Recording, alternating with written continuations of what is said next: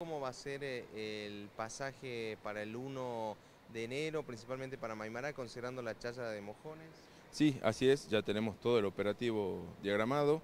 Bueno, la verdad, eh, estamos haciendo una previsión de que va a ser muy grande la cantidad de gente, así que en base a eso eh, hemos previsto dos lugares de salida de los colectivos. Van a salir desde acá, desde la nueva terminal, servicios de viajes especiales, motivo por el cual tienen un precio diferenciado.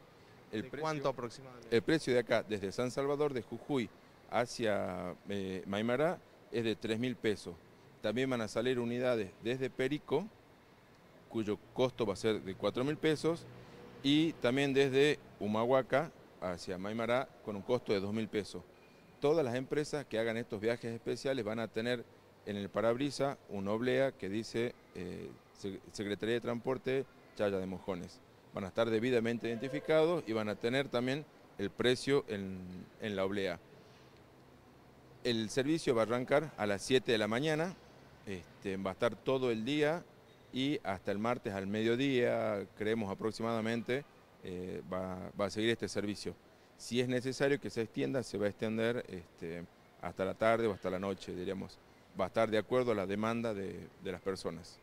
Bien, van a partir únicamente de acá, desde la nueva terminal en Capital, no desde otro sector ni tampoco desde la terminal vieja, por ejemplo. Eh, el otro lugar del cual van a partir es la 19 de abril.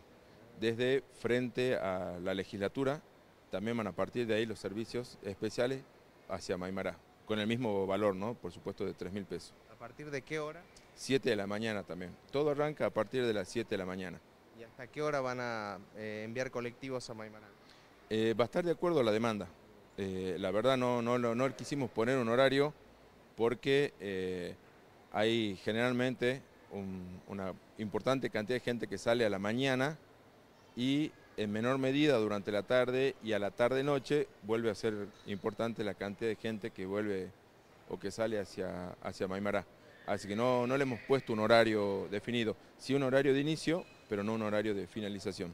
Muchas gracias.